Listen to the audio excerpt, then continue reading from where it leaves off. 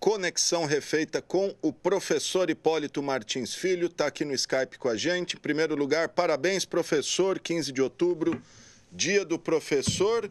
Bom, temos muita coisa para falar aí sobre economia. Eu queria começar, professor, o tal do Pix aí lançado pelo governo federal semana passada, que promete revolucionar transações bancárias. Quero saber o que o senhor achou desse sistema. Muito obrigado mais uma vez, viu? Boa tarde, Alexandre. Boa tarde a todos. Obrigado pelo, pelo parabéns, professores. Parabéns a todos, né? Uma profissão pouco considerada no Brasil, mas temos que continuar, né? É, Alexandre, a, o PIX é, foi um avanço muito importante é, no, no, no, Brasil. É, ele vai proporcionar um conjunto de fatores positivos. É, na verdade, é, o, o PIX é o, é o caminho para transformar o, o, real em espécie numa moeda digital. Né? Estima-se, o Banco Central estima que até meados de 2022 nós já vamos ter, assim como na Europa, Estados Unidos, outros países, a moeda digital. É, a, a, tendência é, é, o papel moeda, o dinheiro em espécie, sumir, desaparecer. Aliás, é, é já, é, o Brasil já vinha ocorrendo isso.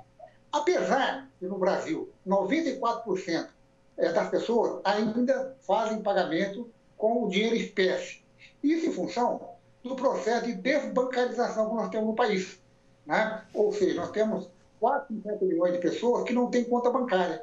O PIX vai favorecer bastante. Por quê? É um meio de pagamento instantâneo. É, em até 10 segundos, você vai conseguir transferir dinheiro de conta para conta e fazer qualquer tipo de pagamento.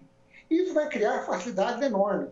Você não vai precisar mais deslocar da sua casa para ter o banco, fazer um, uma transferência eletrônica, um DOC. Né? É, você não vai mais pagar a taxa que então você pagava no banco fazer transferência. É, você vai poder fazer 24 horas por dia, 7 dias por semana. Né? Vai gerar uma concorrência bastante grande no sistema financeiro.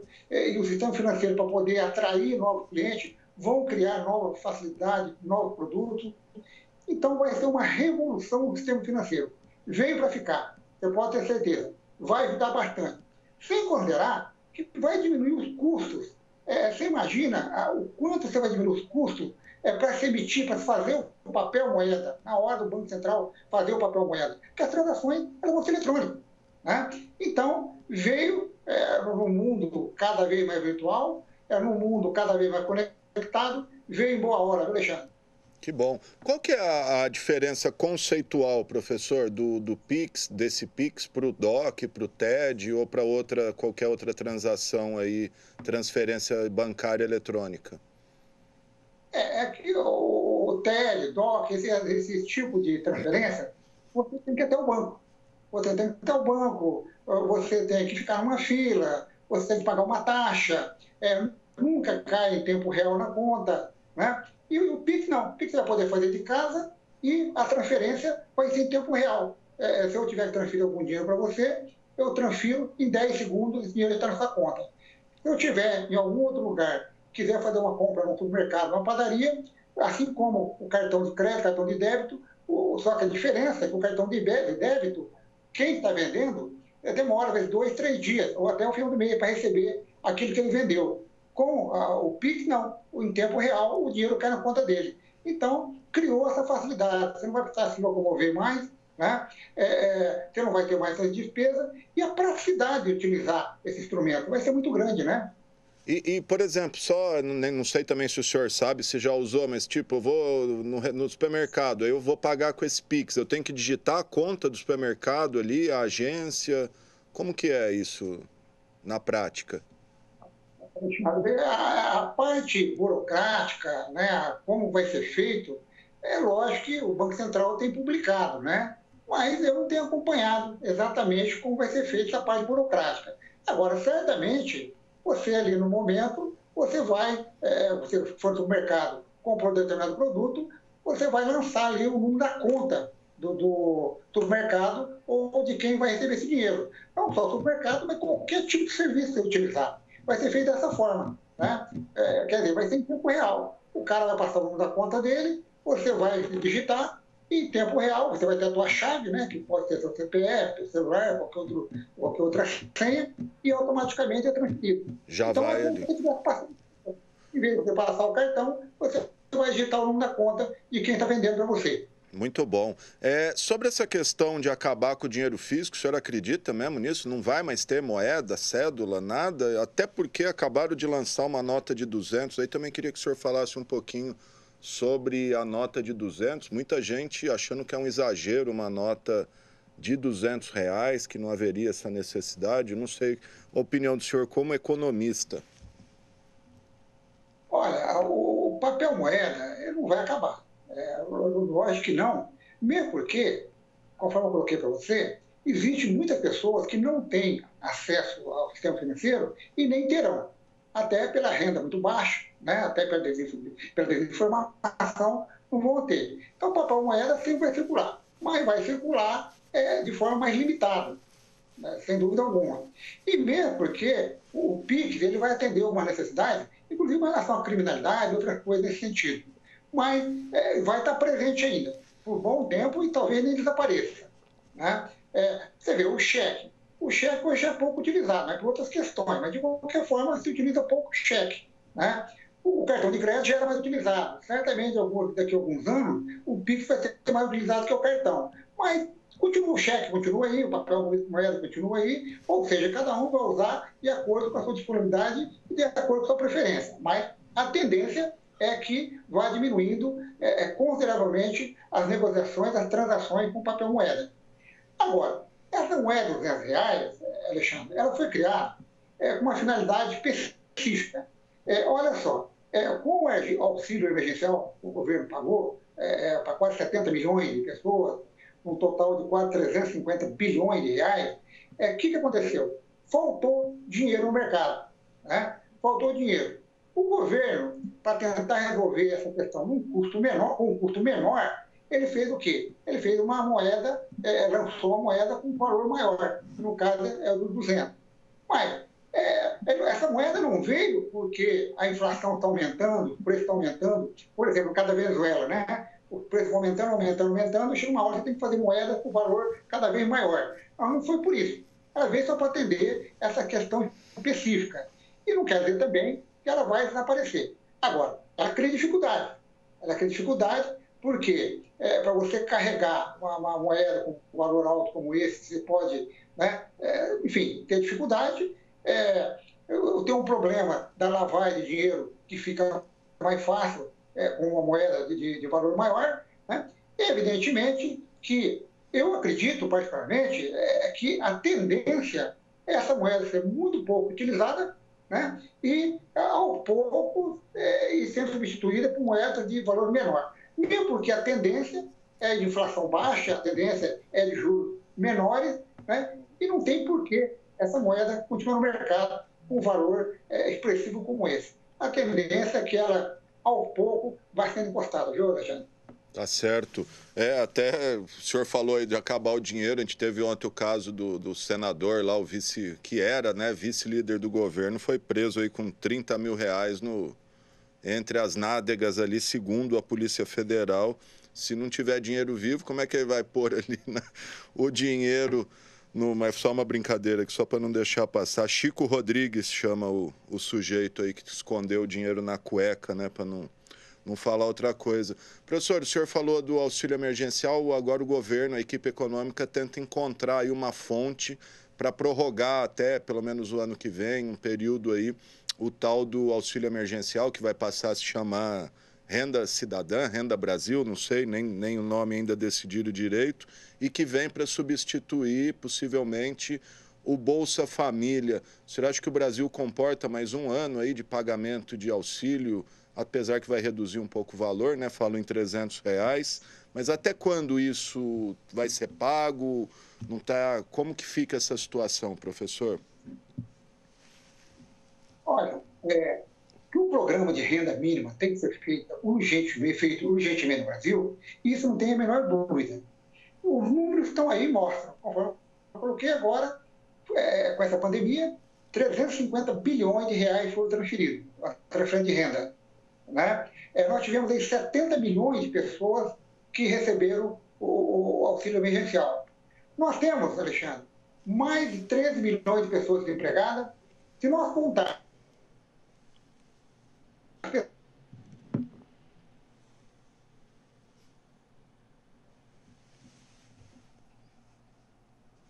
Acho que a gente teve um probleminha no áudio aí com o professor Hipólito. Vamos ver se retoma. Infelizmente, não está legal hoje, hein? Professor, o senhor me ouve? É, caiu o, o áudio do senhor. A gente está vendo a imagem do senhor aí, mas o áudio caiu. Vamos ver se a gente consegue recuperar a conexão com o professor Hipólito. Não sei se ele apertou algum microfoninho sem querer aí, será? Nada ainda?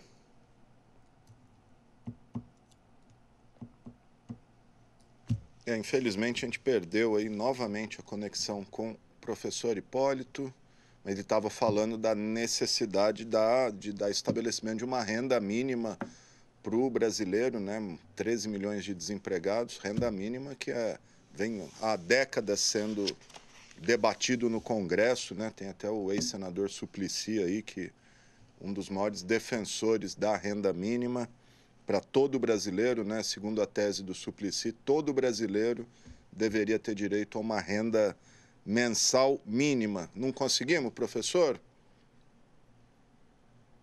Nada ainda? Não. Não está chegando. Bom, gente, infelizmente não foi legal aí. Perdemos a conexão com o professor. Não estamos conseguindo restabelecer. Mas deu para a gente bater um papinho aí, ouvir um pouquinho que, que o assunto principal aí do Pix e da nota de 200. E o professor também estava falando da necessidade urgente de uma renda mínima mensal, principalmente para os mais necessitados. Vamos tentar uma última vez. Professor? Oi, Alexandre. Ah, agora sim. Vamos lá. O senhor estava falando da necessidade de se criar uma renda mínima mensal aí, principalmente aos mais carentes, né, professor? É, exatamente. Então, então precisa criar esse programa. Agora não pode ser, Alexandre, um programa eleitoreiro, um programa sem consistência. Tem que ser um programa que extrapole a questão fiscal, não extrapole o teto de gasto. Tem que ser um programa que possa unir os demais programas sociais e é, buscar recursos onde? Onde é dinheiro as grandes fortunas, é, nos rentistas, né? É, precisa é, tributar é, produto menos prioritário. Quer dizer, de onde tirar nós sabemos que temos, de onde tirar esse dinheiro.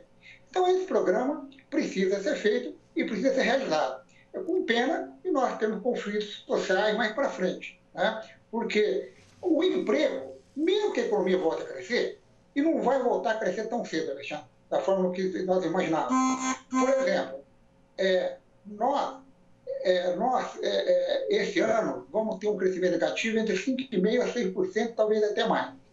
Nós pegamos 14 setores mais importantes da economia, quatro cresceram o que estava crescendo antes da pandemia. Agronegócios, é, construção civil, setor de alimentos e alguns nichos aí de tecnológico, né? aplicativo de entrega e outros. Alguns setores estão ameaçando voltar a crescer. Vestuário, eletrônico.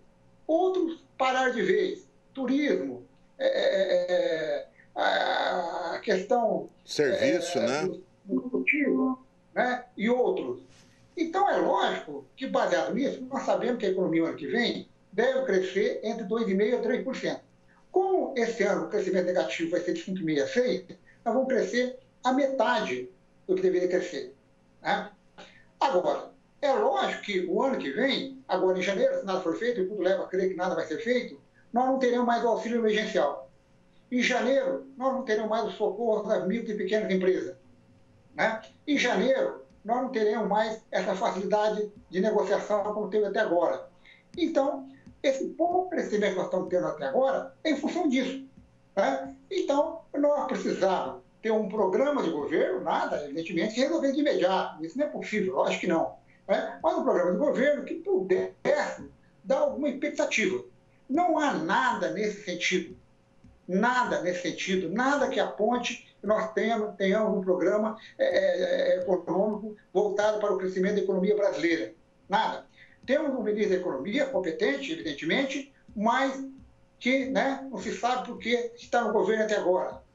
Então, nós percebemos claramente que o único projeto desse governo é para ser reeleito na próxima é, eleição. Mais nada além disso. Nós não temos. Não tem reforma estativa, não tem reforma trabalhista, não tem reforma é, trabalhista, né? não tem reforma tributária, não tem abertura da economia, privatizações, não tem programa de renda mínima, não tem nada. Tem nada. Né? Nós temos juros baixos, que isso é importante, inflação baixa, que isso é importante, e algumas medidas pontuais.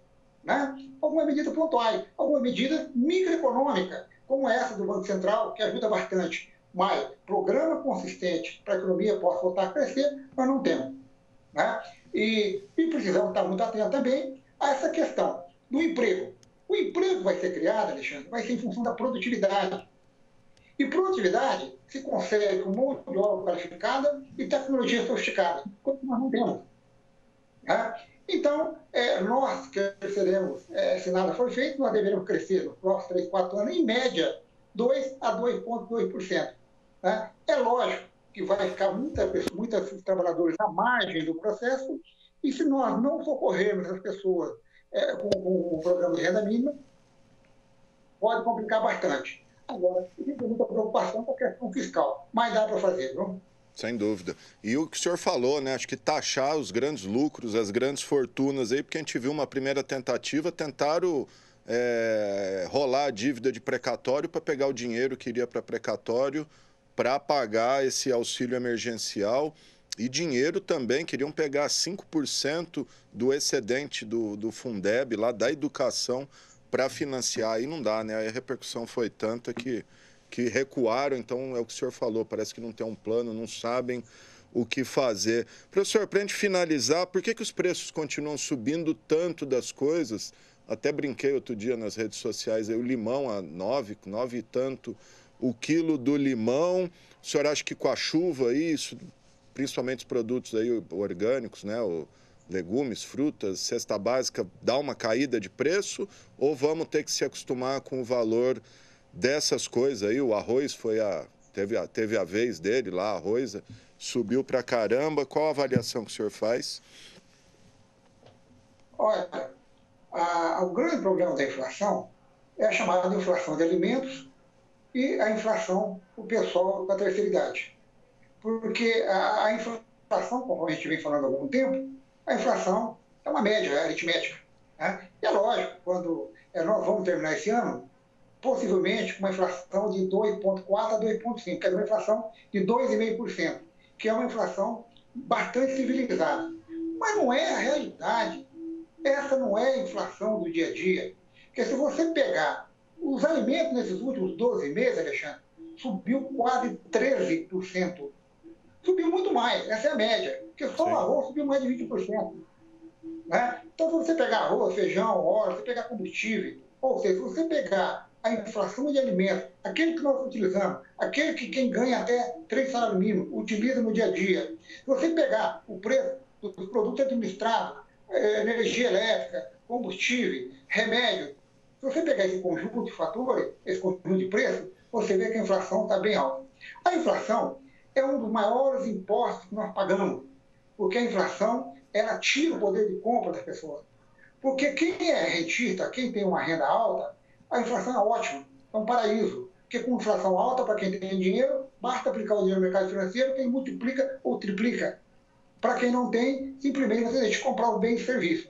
A expectativa é de que o dólar continue em alta, porque o dólar está em alta, não é só porque nós estamos em processo pandêmico. Não, o dólar está em alta por vários fatores, por vários fatores macroeconômicos. Um deles é a instabilidade é, prevalecente no país.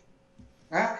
Toda essa instabilidade gera o quê? É, é, o dólar esse ano já valorizou quase 40% em relação ao real. Agora, é lógico que se nós não resolvermos essa questão, pelo menos amenizarmos essa questão, é, se nós não equacionarmos o, problema da, da, da, das exportações, o preço não cai. A expectativa é, era de que, até pouco tempo, alguns dias atrás, o arroz, que a safra de arroz, pudesse suprir o que, o que faltou a expectativa dos dois dias já não é mais essa. Nós não vamos ter arroz suficiente. Então, os preços dos alimentos devem continuar pressionados por mais algum tempo, Alexandre? Pois é, o real acho que foi a moeda que mais valor, desvalorizou perante ao dólar no mundo, né? Entre 60 moedas aí, o real foi a que mais perdeu valor. E sobre preço de mercado, é difícil você ir no supermercado uma vez e voltar e a coisa tá o mesmo preço, né? Sempre está um pouquinho mais caro, nem que seja centavos. Professor, obrigado, viu? Quer falar mais alguma coisa? Deixar alguma mensagem aí? Deixar algum recado? Estou recebendo a mensagem aqui, ó, desculpa, da, da dona Fátima lá, nossa telespectadora. Disse que foi comprar óleo de soja hoje, R$ 8,90 o litro. É, é um absurdo. É um absurdo. Um botijão de gás custa R$ reais. Tudo isso, Alexandre, por vários fatores. Mas principalmente por um motivo. Principalmente, tem vários fatores. Nós não temos um programa econômico consistente que gere expectativas positivas que gere esperança que a coisa possa melhorar. Quando não há expectativa, a tendência é o quê? É a moeda se valorizar, no caso o dólar, a tendência é a inflação voltando um pouco e a tendência é as pessoas perdendo a expectativa de que a coisa possa caminhar e aí sim o país começa a entrar em situação difícil. Então é uma situação, não é uma questão específica do Brasil. O mundo está passando por dificuldade. Né? Mas se você olhar os países, não vou nem comparar com a Europa, com os Estados Unidos, é o país asiático. Se você comparar com países da América do Sul, todos eles vão crescer mais que o Brasil. Todos. É, ou a maioria. É, Uruguai vai crescer mais, Chile vai crescer mais, Colômbia vai crescer mais. O que é que está emperrando o, crescimento do Brasil? Nós não temos um programa de desenvolvimento econômico. É só isso. O senhor acha que o tamanho do Brasil atrapalha, professor? Porque a gente vê, o Brasil é muito grande, é um continente. Isso, de alguma maneira, dificulta qualquer governante de governar? Não tem muito a ver com a economia, mas uma percepção. No meu ponto de vista, Alexandre, em hipótese alguma, que os Estados Unidos é maior que o Brasil, a China é maior que o Brasil. Né? a Rússia, a Índia também, mas como desenvolvimento nós temos aí a, a China e os Estados Unidos, que são países maiores que o Brasil e são países que vão crescer a partir do ano que vem é, é entre 6% e 7%. E nós vamos crescer, se tudo correr bem, 2,5% a 3%. É que não há, é o que nós estamos colocando, né? É incompetência é, dos governantes mesmo, né? Não é estabelecido um planejamento para que o país volte a crescer. Não há política econômica nesse sentido. É incompetência dos governantes. A telespectadora pergunta aqui se o preço do óleo, por exemplo, é porque a China está comprando toda a soja do Brasil. Dá para responder? Ó, a questão da, da, exportação, Alexandre, é difícil, porque o produtor ele vai vender onde ele ganha mais, onde ele for melhor remunerado. Né?